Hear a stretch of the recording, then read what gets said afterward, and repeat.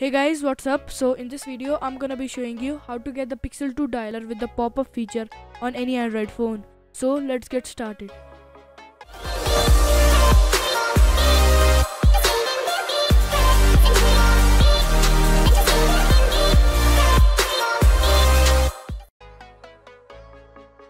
First of all, go to the app info of your default dialer app and after that disable it.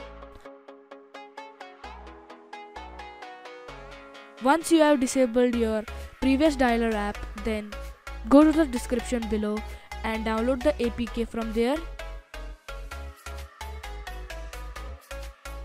Once you have downloaded the APK, install it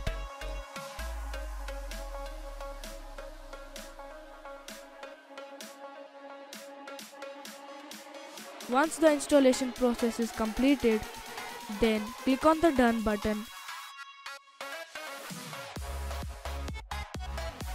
and go to the app info of the new dialer app.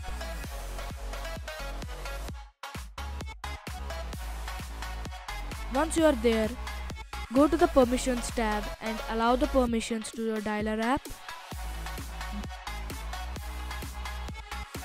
Then press the back button Scroll down and click on the phone app icon and then select the phone app as the dialer you installed. Once that's done, press the back button and then scroll down and then select draw over other apps.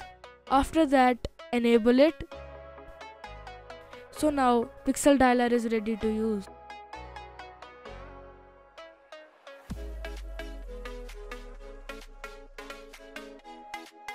So let's test the new pop-up feature of the Pixel 2 dialer.